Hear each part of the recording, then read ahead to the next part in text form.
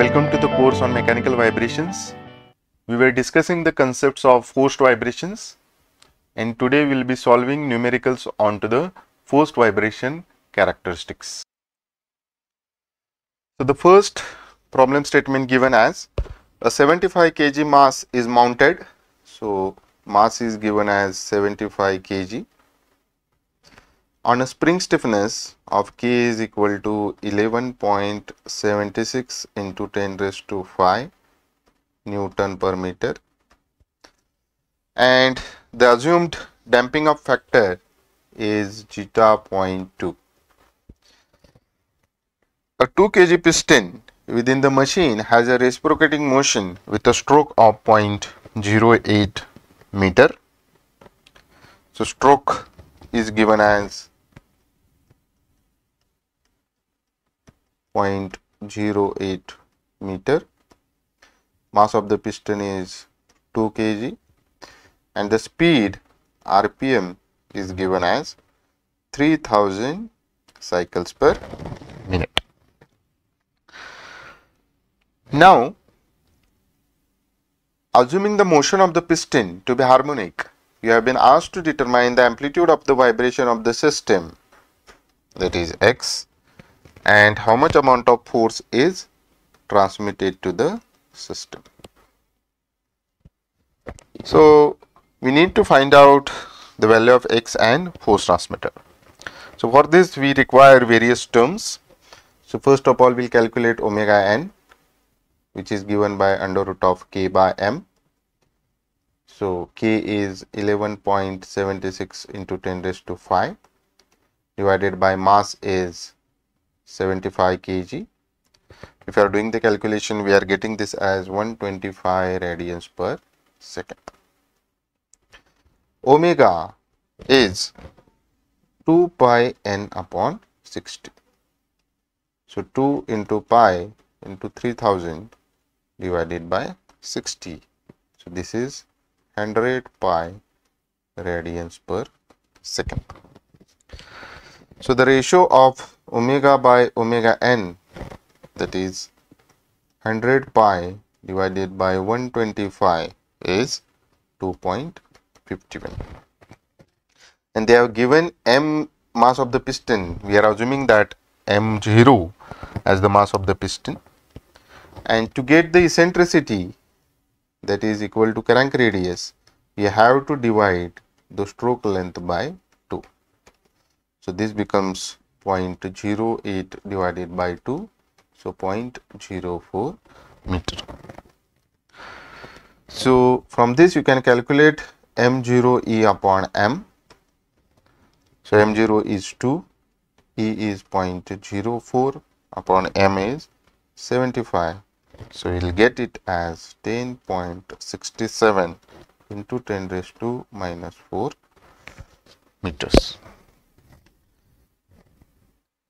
Now we can calculate the magnitude of the force F0 as m0 e omega square. So this is equal to 2 into 100 pi square into 0.04. So the magnitude of the force we are getting it as 7900 Newton. So for getting the value of x you need to use this equation that is x by m0 e upon m this is equal to omega by omega n square upon under root 1 minus omega by omega n square full bracket square plus 2 zeta omega by omega n square. If you are putting all the values and you are solving it the students are requested to put all the values and try, try to get the value of x. So the value of x we are getting it as 0.00125 meter which is equal to 1.25 meter. For getting the force transmitted value we have to use this equation ftr divided by f0 is equal to under root of 1 plus 2 zeta omega by omega n square upon 1 minus omega by omega n square whole bracket square plus 2 zeta omega by omega n square. If we put all the values, we are getting FTR as 2078 Newton. So this is how we can get the value of capital X that is steady state vibration amplitude and how much amount of force is transmitted to the ground. Let us see another numerical. The students are uh, requested to go through the numerical problem statement. So the problem statement is like this. A vibration platform of railway stations are having periodic frequencies ranging from 12 hertz to 50 hertz. A vibration measuring instrument is to be installed on the same foundation independently of that of platform. So basically whenever it has been given a range you need to consider the fundamental frequency as the excitation frequency. So here we'll assume that 12 hertz as the frequency. So have to get the omega value you have to multiply it by 2 pi. So we are getting it as 24 pi radians per second. Then a vibration measuring instrument is to be installed on the same foundation independently that of the platform the small foundation is supported on four identical springs. So, we are having the four identical springs onto the platform. So, students are requested to take a note of this. So, the total mass of the instrument and the foundation is found to be 50 kg. So, mass is 50 kg. What is the maximum value of the spring stiffness? You need to find out the value of K so this will be the together value of stiffness for all the springs. So how much of spring stiffness is needed if the amplitude of transmitted vibration is to be less than 10% of the platform vibrations over, over a given frequency range. So you need to have the ratio of transmissibility that is displacement transmissibility x by y lesser than 0.1. So we are assuming that it is equal to 0.1 and they have given damping factor zeta as 0.2 and you have to assume the system is single degree of freedom system. So we know the formula for transmissibility ratio. So it is given as 1 plus 2 zeta omega by omega n square upon 1 minus omega by omega n bracket square whole bracket square plus 2 zeta omega by omega n square. So, students are uh, requested to uh, solve this for the value of omega by omega n.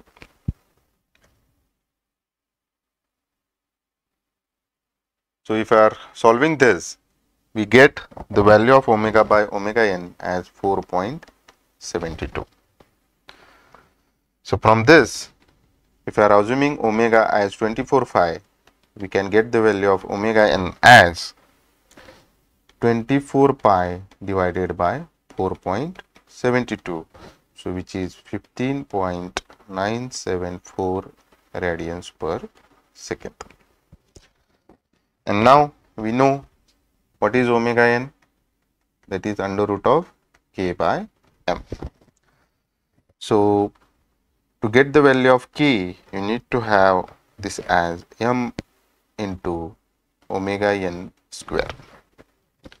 So, omega n is 15.974 square into mass is 50. So, get it as 12.76 into 10 raised to 3 Newton per meter. And now, to calculate the stiffness of each spring,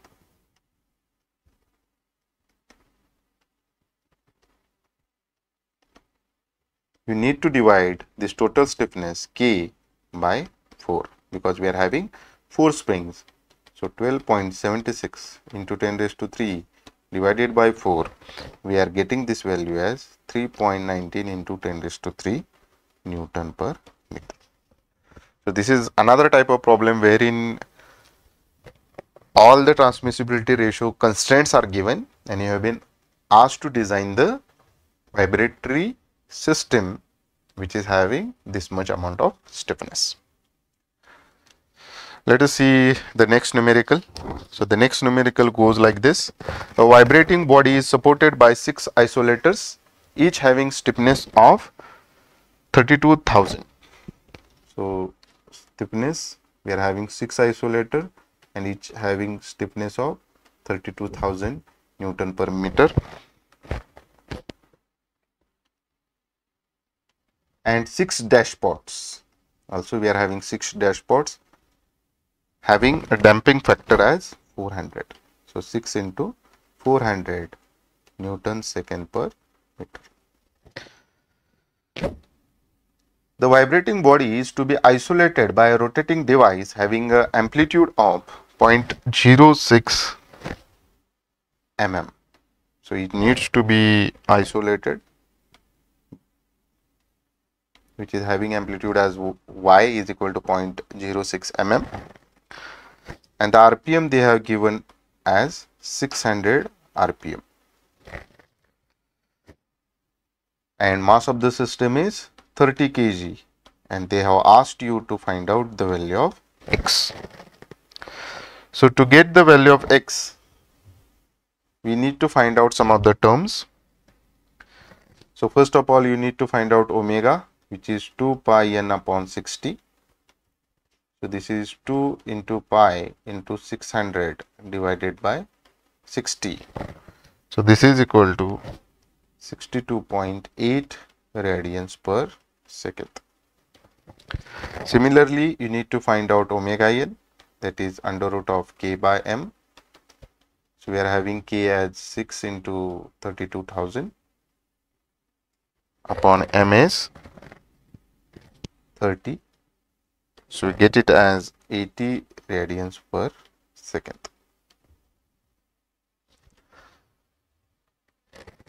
Now you can get the value of zeta as c by 2 under root km.